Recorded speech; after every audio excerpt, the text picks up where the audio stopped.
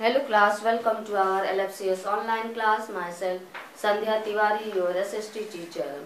In the previous class, we have discussed about uh, Jyoti Rao Phule, his uh, life related to his uh, life and also his book Gulamgiri and its uh, dedication to the American movement uh, to free slaves and also other topic that is uh, why was Jyotirao Phule critical of the national movement? And also we discussed about Veer Salingam and uh, Sri Narayan Guru. Okay, so today we are going to start a new topic that is uh, Periyar Ramasamy 1879 to 1973 and after Periyar we will discuss about Mahatma Gandhi 1869 to 1948 and about Mahatma Gandhi uh, Mahatma Gandhi was uh, great in the political field as he was uh, great in the social field. He was both great in a political field and also was great in a social field. Okay, so let's start our today's class. Uh, pay, open page number 86 chapter 10 okay Periyar Ramasamy Periyar Ramasamy was a reformer of Tamil Nadu.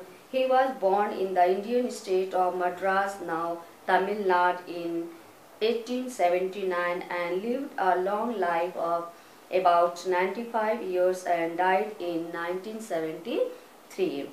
Ramaswamy was also one of the important reformer of Tamil Nadu like other reformers like Veer Salingam, Sri Narayan Guru and uh, he belonged from Madras now Tamil Nadu in the year 1879 and also he lived uh, a long life uh, means 95 years of his age. He was pained to note that the Dalit or low caste man had remained untouchable since many centuries. In his life, he saw that uh, the scheduled uh, low caste people or uh, or they lived a life of means वो बहुत समय काल से देख रहे हैं कि जो दलित वर्ग है उसको अनटचेबल और लो कास्ट की उपाधि बहुत सेंचुरी से ही दी जा रही है। वो इस तरह की लाइफ बहुत समय काल से बिता रहे हैं। According to him the members of this caste were denied education according to his views what happens these people these uh, low caste people were neglected on all sides related to education participation in social activity and also contact with other caste उनका कहना है कि बहुत समय से ही ये जो cast है ये इनको अलग रखा जाता है। किससे अलग रखा जाता है? एडुकेशन से अलग रखा जाता है। इनको आ, समाज में शामिल नहीं होने दिया जाता है। और भी किसी भी एक्टिविटी में इनको पार्टिसिपेट करने नहीं दिया जाता है। ओके एक्सेप्ट व्हेन देयर और केवल उनको उस समय याद किया जाता है जब उनकी सर्विस की ज़रूरत होती है। कैसी ज़रूरत होती है? सर्विसेज़ एज स्क्वेंजर और हाइट प्लेयर्स वेर रिक्वायर्ड जब या तो जो एक्सक्रीटा ढोने का काम होता है या चमड़ी जैसे कि एनिमल्स की स्किन निकालनी होती है इस तरह के काम के लिए उनको याद किया जाता है ठीक When he was attempted to take a number of people to a temple in Kerala, what happened once uh, he was trying to enter in a temple uh, in Tamil Nadu, in Kerala, then what happened?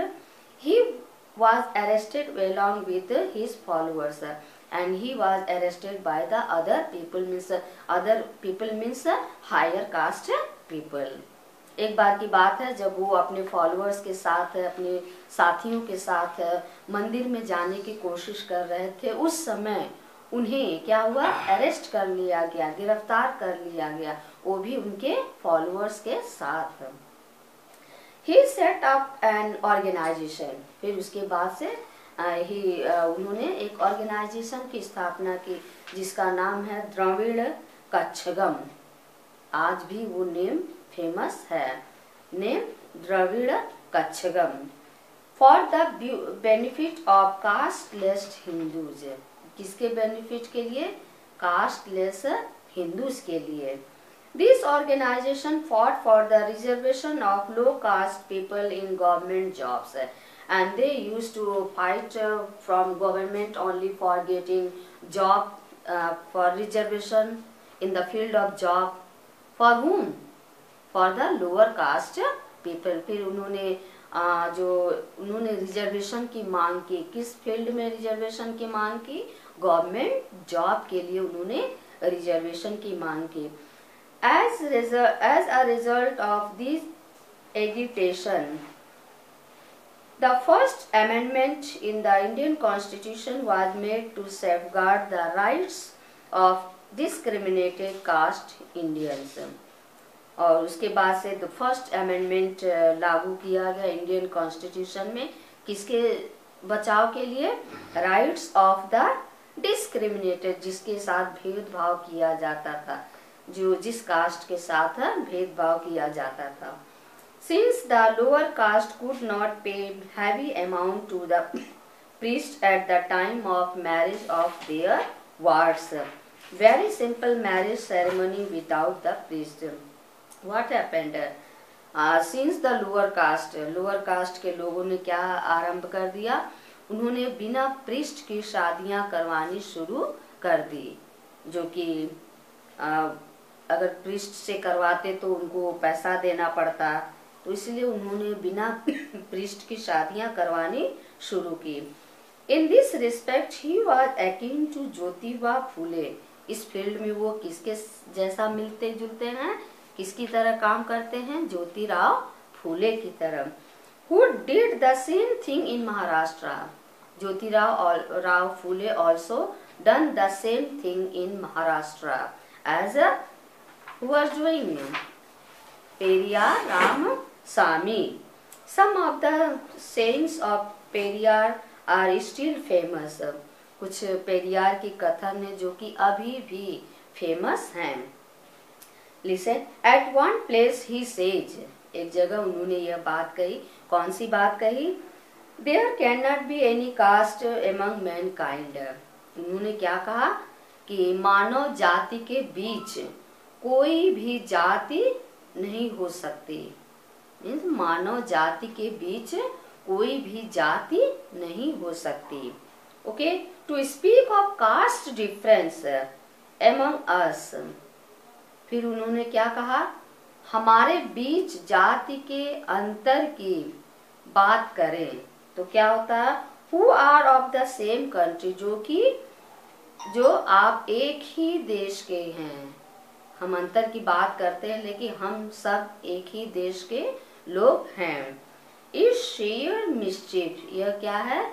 यह सरासर शरारत है, जो इस तरह की बात करते हैं, यह सरासर शरारत है। ठीक।